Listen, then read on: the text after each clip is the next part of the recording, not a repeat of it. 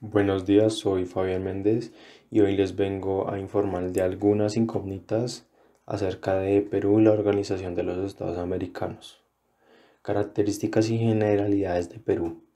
Entre sus generalidades, Perú está ubicado al sur de América, posee 1.285.216 kilómetros cuadrados, siendo el cuarto país de la región. Sus características naturales principales son la costa, en su mayoría desierta, la sierra con sus cuatro picos nevados y multitud de montañas, el lago Titicaca, que es compartido con Bolivia y ubicado a 3.809 metros sobre el nivel del mar.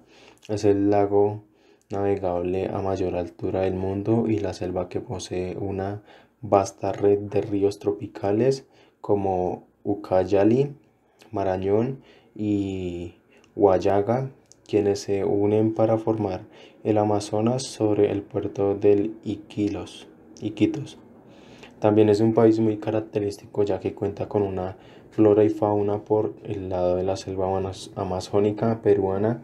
Es el bioma más externo y se divide en selva alta y selva baja. Allí pueden encontrarse monos, cotorras, tortugas y cocodrilos. En la zona costera su vegetación se desierta y puede verse especies de gaviotas y golondrinas. En las zonas de las sierras los cactus son característicos de esta zona. Además es frecuente ver vicuñas, llamas, eh, guanacos, chinchillas, alpaca y algunas aves como el cóndor y el águila. En la zona de montañas en grandes alturas pueden encontrarse jaguares y armadillos.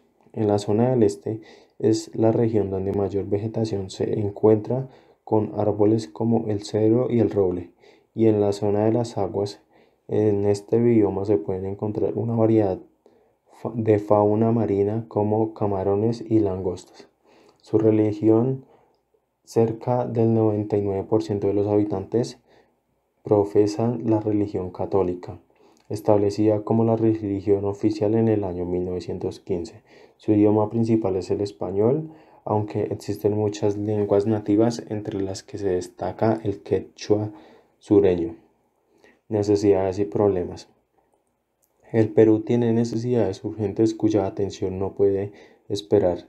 No es aceptable que el gobierno central, los gobiernos regionales y locales hayan ejecutado menos del 30% de sus presupuestos de inversión postegrados la urgente atención de poblaciones que claman por agua, desagüe, educación, electricidad, salud, seguridad y transporte.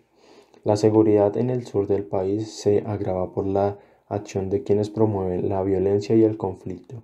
Ellos exigen una acción firme de parte del gobierno en defensa de principio de legalidad, pero priorizando el diálogo de paz, el respeto y el cumplimiento a la constitución de la ley.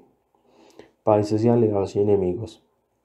Entre sus países aliados podemos encontrar a Estados Unidos como unión diplomática de comienzos del siglo XIX otro gobierno en el que tiene fuertes lazos de amistad es Japón desde el 21 de agosto de 1873. De esta forma, Perú se convirtió en el primer país de América Latina en establecer relaciones diplomáticas con los japoneses. El ministro de Defensa dijo que los enemigos de Perú no están en los países vecinos, sino que son los narcotraficantes y el terrorismo. En este sentido, manifestó que se deben estrechar los lazos de amistad con los países fronterizos, entre ellos Chile, porque ahora comparten una visión común en integración y reducción de la pobreza. Posición del país sobre el tema de la comisión.